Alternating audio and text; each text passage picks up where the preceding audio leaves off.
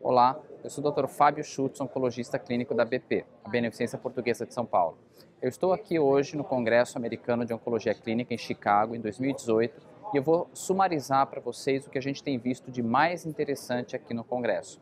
Então, foram apresentados recentemente ah, resultados em pacientes com, com tumor de bexiga, com câncer de bexiga, novas drogas que vêm sendo pesquisadas. Ah, e isso acho que é motivo de bastante entusiasmo nós médicos estamos bastante entusiasmados porque novas opções de tratamento estão surgindo, com resultados bastante promissores, com respostas bastante interessantes em pacientes com câncer de bexiga uh, metastático. Então, eu acho que isso é motivo para todos nós ficarmos alerta e que, e que isso deve ser introduzido na nossa prática, eu diria que nos próximos poucos anos. Novos estudos ainda precisam ser uh, apresentados ah, com essas duas drogas, que na realidade é o erdafitinib e o enfortumab vedotin.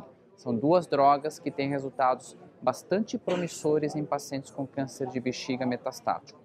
E um outro estudo bastante interessante que foi apresentado ah, também ah, hoje no Congresso, ah, na sessão plenária, é o estudo que avaliou o benefício de fazer a cirurgia no tumor primário do rim, mesmo em pacientes que têm doença metastática, por exemplo, nódulos no pulmão ou alguma outra lesão no osso. A gente tinha um conceito antigo ah, de que valia sempre a pena tirar o tumor primário e que isso beneficiaria os pacientes no longo prazo, com a melhora do controle da doença.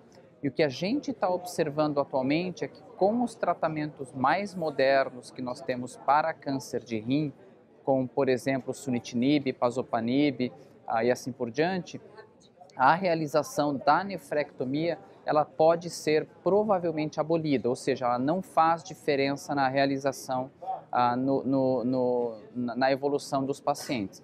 Isso é importante porque a gente estaria poupando os pacientes de realizar um procedimento cirúrgico invasivo de risco ah, e potencialmente, de acordo com esses estudos, desnecessário.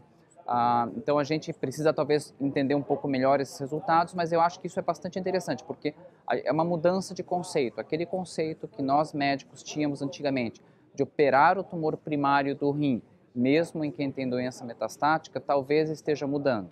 E isso é importante ah, para vocês, pacientes, ah, ficarem ligados. Obrigado.